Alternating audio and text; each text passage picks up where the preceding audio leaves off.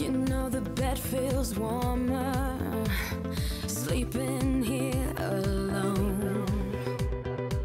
You know I dream. Well read, then you will love our category here literary characters. All right, players, here's your clue.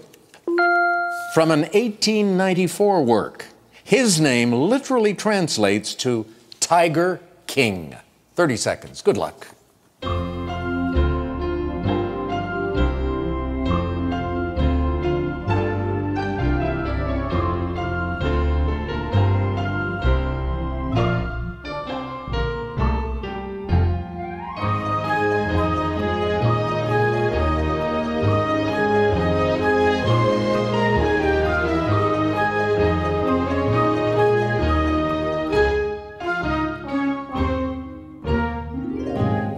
Ryan, not your day today, but that's okay. You were here in final. You had 4,000. And what did you put down as your response to our clue? You said, Who is Shere Khan? You are right.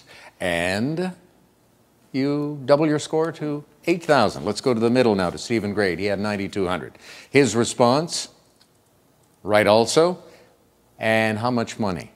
9,200. That doubles him to 18,400. Francois had 34,300 and came up with the correct response and didn't have to risk anything and did not. So he is a semi-finalist. Come on over here, Francois.